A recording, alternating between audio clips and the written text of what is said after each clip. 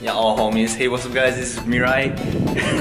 so basically you can see that right now I'm in a very new location. You guys probably never seen this before. You guys probably never seen this before. That's because this is also my first time recording this and you know first time visiting this place. So basically my school organized a program and it's about like exchange students but uh, I don't know how to explain this shit but like basically we as an international students we get here to test and try and taste the Japanese food. Yeah, I forgot to tell you. We have to make it ourselves. So this is what makes it interesting. Like really, this school is like in a very countryside place. So it's not like in a big city, as you guys can see. It's really chill, you know me, man. I'm a person that like chill stuff, you know, chill, clean, simple. This is my style, man. So yeah, I'm just gonna show you guys around the food so you can get a concept idea of what I'm talking about. You can see that this room right here, this room right here is called Ryori Shitsu. So Ryori, this is like cooking. Shitsu is like the room. So this is like the cooking room aka the kitchen. And you can see the event is called Tsukute Tabete. Ko oh, yeah, I, can't, I forgot how to read this. ちょっと待って。Kokusai Koryu. Ko Kokusai Koryu. You can see that in it, we have a lot of people cooking and stuff.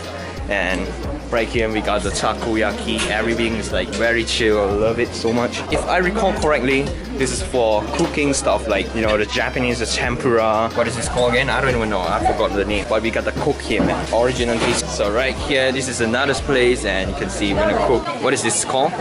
Shish kebab. Shishi? Shish kebab.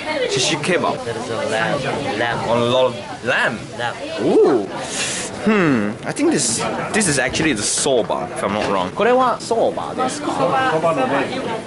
soba. Ah, boiled no soba. Boiling soba. Right. There's nothing really much to talk about. You know, it's just me recording what I'm doing today, which, like I said, I attended an event and I think it's really cool to show you guys. So yeah, for this place, it says that this is the way to go to the pool, but it's locked. I actually think this is a kindergarten. Like the place I'm in right now is a kindergarten, if I recall correctly. And this is Lee San, he's gay. So stop. so let's get down and see what we have here. My notification sound, yo. Gotta chill out, man. Alright, here you can see there's a lot of kids around because, like I said, this is a kindergarten. But I do know that the library is called Toshoshitsu, though. Hall. So this is a hall, which I hear someone in it, so let's just quiet. Actually, let's just get out. I feel like going out for a while, to be honest.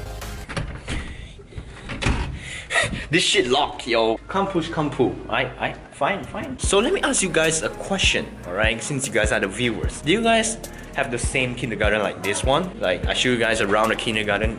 Is your kindergarten this big? Is your kindergarten much smaller or even bigger?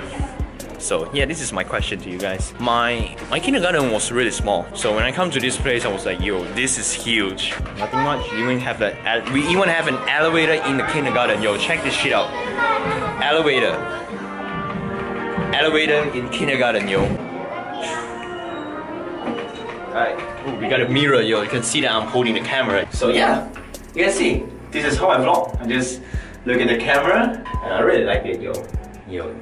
Yo, yo. So right on the elevator, you can see this is the same room which I talked about, the Ryori Shitsu. So yeah.